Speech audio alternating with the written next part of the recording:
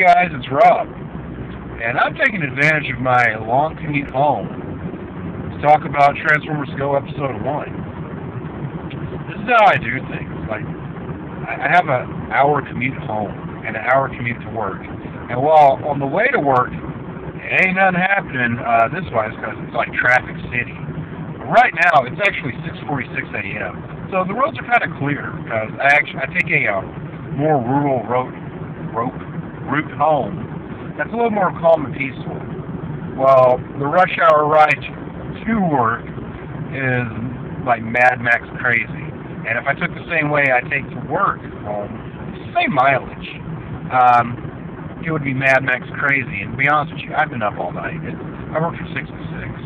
I'm tired. Um, so this is pretty cool. I can just kind of hold my phone and people assume I'm looking at a GPS. But anyway, earlier today, which was I guess technically yesterday, I Transformers Go episode one.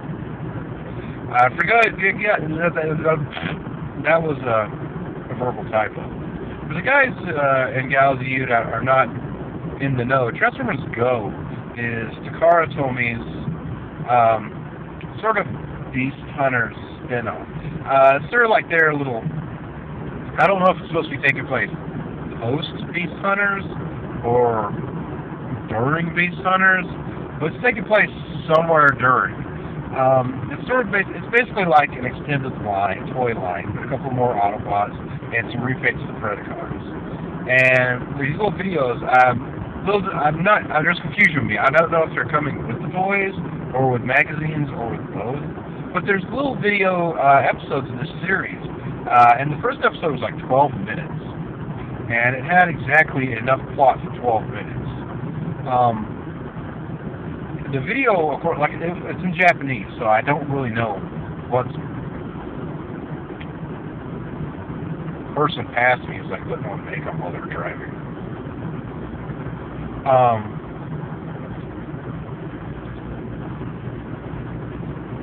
where was I saying? Uh, it was, uh, the video had like options for subtitles, and I clicked them, but I couldn't get them to work. I guess I needed to run the video through Flash with this thing going. I don't know. I, hey, hey.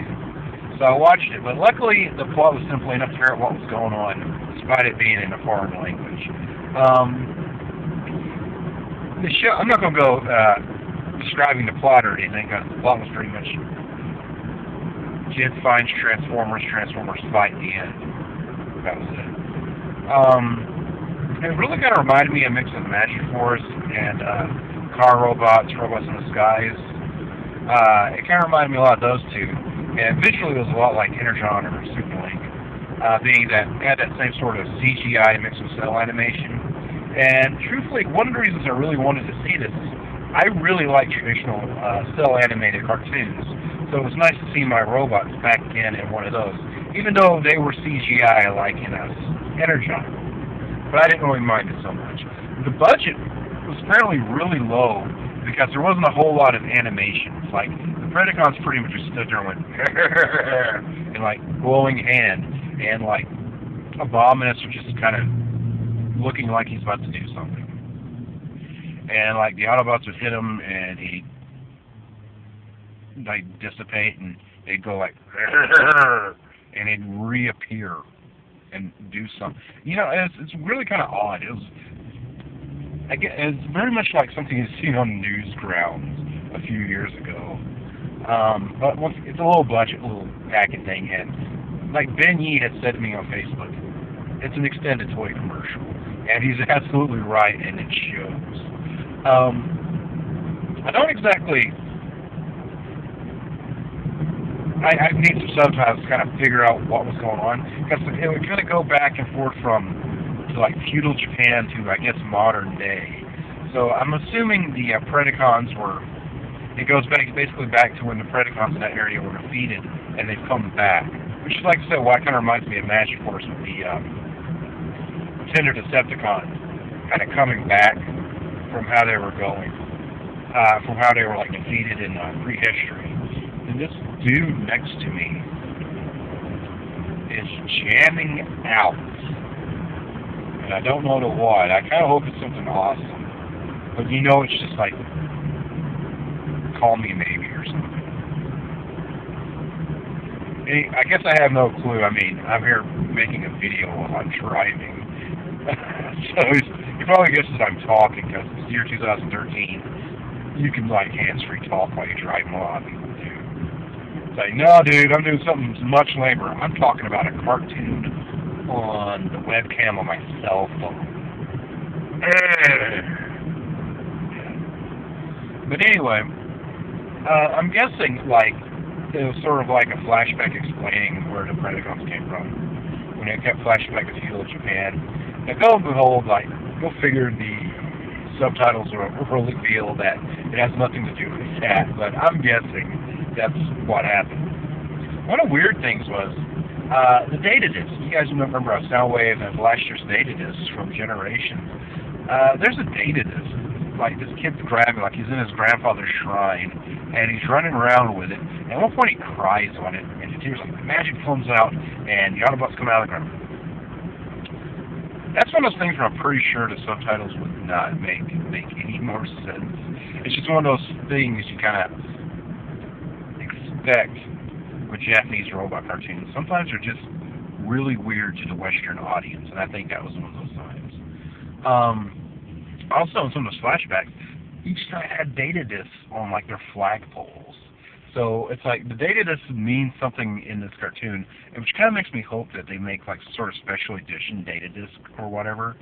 How many more times can I say data disc while I do this data disc? And uh, hey, data disc, he's still rocking out. Uh, I just point out that it's Ace of Base. Yeah, he's got some sighing going on. And holy crap, I drive a black Honda Fit. And there is a black Honda Fit behind me with a bald guy with a beard. Holy crap, this is what it sounds like when the doves cry. This is exactly what it's doing. Anyway, um, so I kind of wonder if there's going to be some sort of special edition data disc later. And I kind of hope so, and I'd like to get it because I like the data discs. I know they're not the best toys in the world. In fact, they're kind of crappy. But, like, say, something about them, I just can't, I don't know, I like them. And I'd really like the uh, bird mode ones, like even bat, I guess rat bat, even though he's not a bird. Uh, that was a really good toy to me. So if those get some new life in this, that'd be cool to me, at least to me. I'd probably be able to buy it. Um, but it's just kind of like, um, it's kind of bizarre. Like the scene where the Predacons are fighting uh, the Autobots, they pretty much say ha ha ha ha, and like Abominus does something and they poke it with their sword and he goes away and they say ha he comes back and they change it to another configuration. Hey, what's up? And um, he, he pokes him with another sword and they fall over. And that's pretty much the fight is the Autobot Combiner pokes Abominus or whatever his Japanese name is. I know he has a Japanese name that's different, but it kind of falls on there. So it's like the Japanese repaying Abominus. It's okay if I don't get it right. Um, they did it a few times and then they just go away. Um, it's kind of bizarre, and I'd like to get some clarity on what actually happened. Uh, even though I watched it, I should be able to figure out what happened, but not so much. But uh, it's definitely worth a watch, especially for 12 minutes. You know, it's like, hey, that sure was 12 minutes that I don't really mind spending. Um, makes me a little more interested in the toys. I'd I'd like to get some of those Predacons definitely because I'm nuts over Predacons and Beast Hunters. And like the robot toys I'd like, but it looks like they're really expensive. So maybe when they go down to a more affordable price, I'll uh, buy some. But I'm kind of hoping they make like figurines, like the Kabaya stuff or whatever, like uh, some candy toy figurines or whatever. I'd be completely happy with that. So it, it does make me say, hey, I'd like to get these toys, even though the cartoon is really. Least so far, episode one's really weird. Maybe episode two will be perfectly logical. And holy crap, quit staring at me.